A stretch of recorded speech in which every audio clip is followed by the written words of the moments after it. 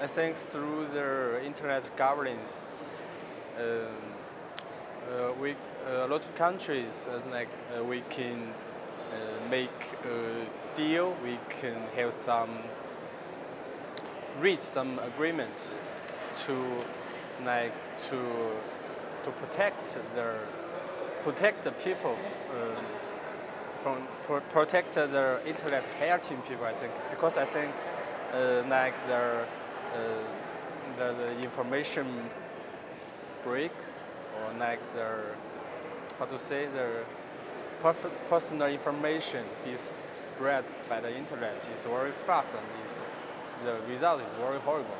So I think um, we should uh, establish some protection against uh, the internet doing harm things to people.